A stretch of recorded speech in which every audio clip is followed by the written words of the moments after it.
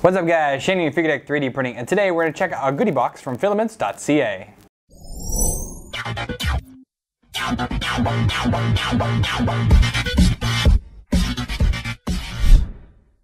Alright, so I don't know if this is connected, but a long time ago, like when I first stood up the channel, I reached out to a bunch of companies and said, hey, I'd like to test out some of your filament, I'm trying to get on my feet, etc., etc. Uh, Filament CA said they would keep me on the list and contact me later, but never did. Well, last week this random box showed up with a bunch of stuff in it, so let's see what they sent. All right, so right off the bat, we have a bunch of business cards, which are super duper thick business cards. That's interesting. And then we've got Feed Me Filament.ca, and it looks like a Slimer, and it's got the little Canadian logo. So obviously .ca means it's a Canadian company. Those you didn't figure that out. Uh, they have a great big bag with some silica in it, a desiccant pack. So I'm guessing this is for goodies inside to store. It's nice of them. And let's start with these pre-packaged samples here. All right, so the first one is Easy PC, 1.75 millimeters. It's transparent.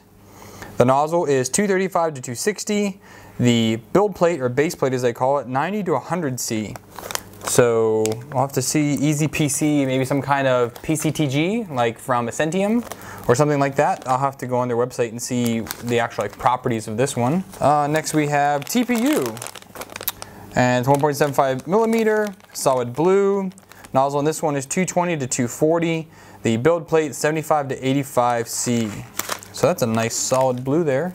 It's called solid blue. It's good royal blue, we'll call it then. All right, here we have flame retardant ABS. That's interesting. And it's in natural color, which I've never actually had natural filament before. I've had clear and I've white.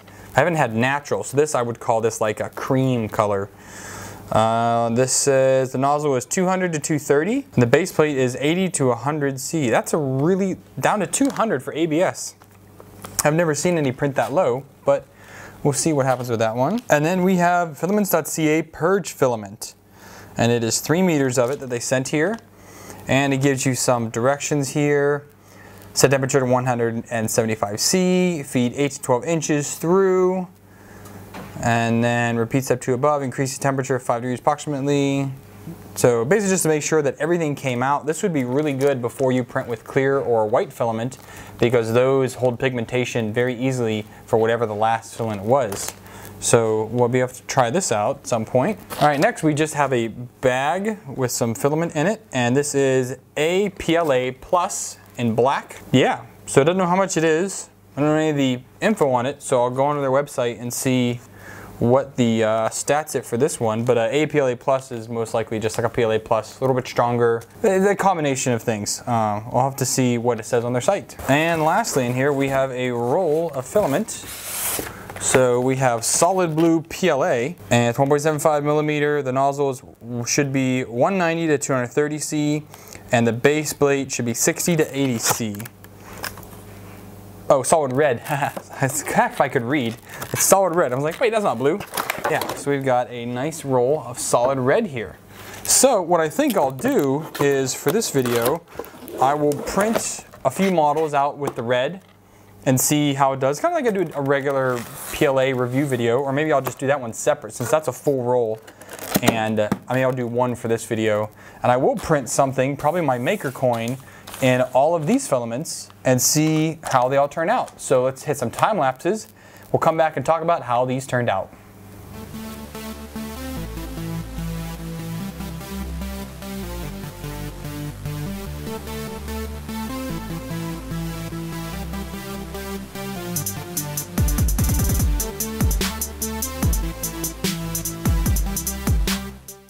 All right, welcome back guys. So I got everything printed. I did not print with the PLA. I decided, you know what, I'm gonna wait. I'm gonna do a separate video just on the PLA. Since they sent me a whole roll, there's no reason to try and rush into this video. I wanted this one just to be about the samples they sent me, which is basically like a maker box. There were four samples they included, five if you include the purge filament. So we're gonna take a closer look and see how they all turned out. Uh, the first one we're gonna look at here is the fire retardant ABS in natural color which surprisingly printed amazingly. This was right on glass with a bit of the purple glue stick Really great. It's not really shiny. I mean, it is shiny, but because the filament is such a matte color, you can't really see any of the shine.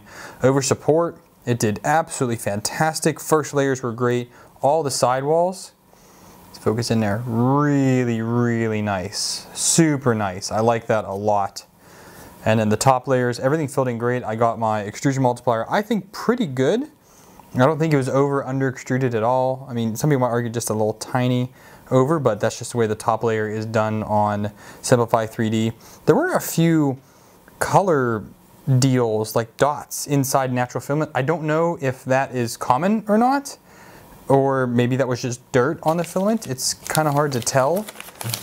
I mean, the filament itself, I can't really see any of those, like if it would be in, maybe that was just that piece that I got there.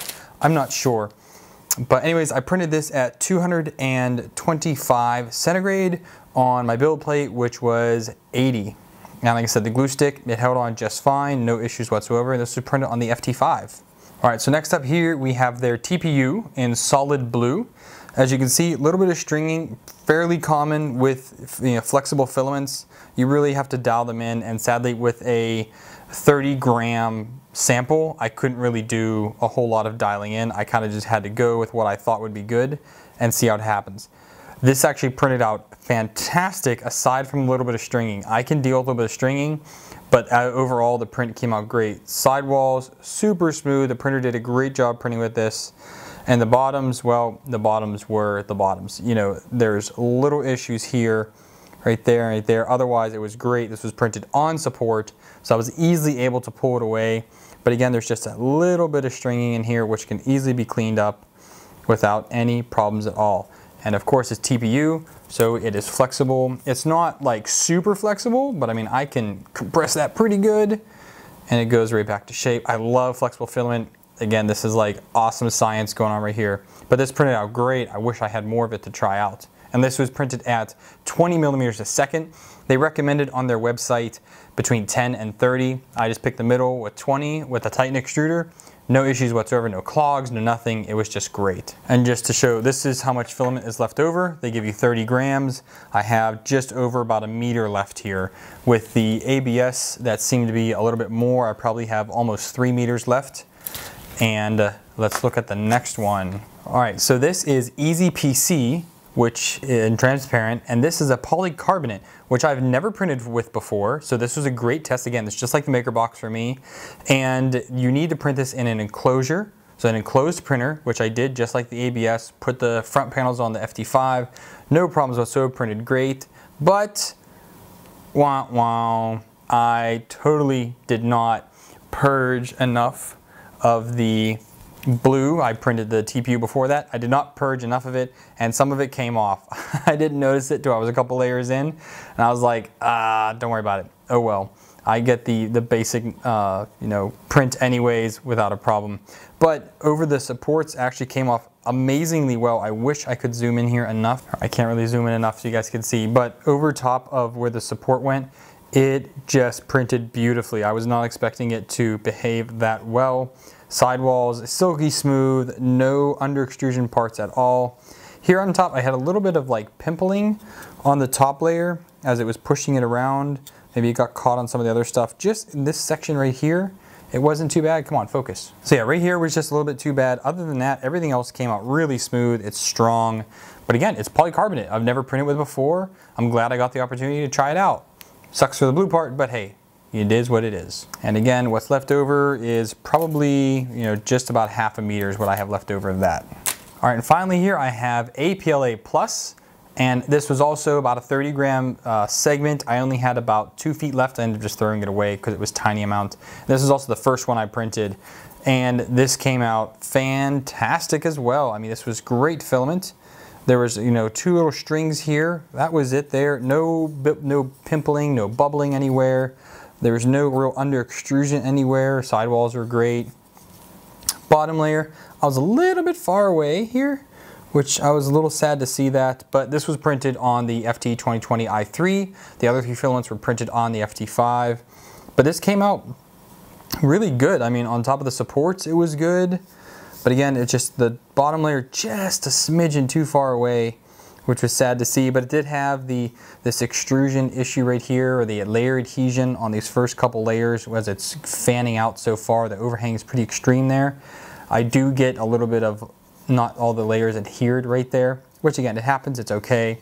But top finish, I mean, it was crisp, clean. It just turned out really nice. So these were all really good filaments. Right, finally, they sent me this. So this was filaments.ca purge filament. It's a basically a low temp filament. I meant maybe some kind of wax in there as well. And it tells you the instructions here. I was actually having issues on my Monoprice Select Mini and surprise, surprise, this actually worked. It cleaned it out. I got an amazing print after it and then the printer clogged again.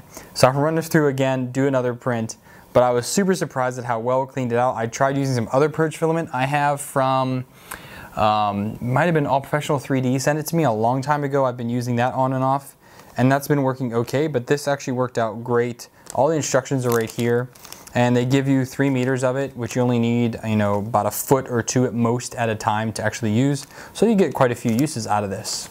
All right, so I have to say, I'm very surprised, number one, to even get this box. Number two, I'm surprised with the quality of the filament of all types. All types printed very, very well for me. I'm very happy about that. Say very one more time.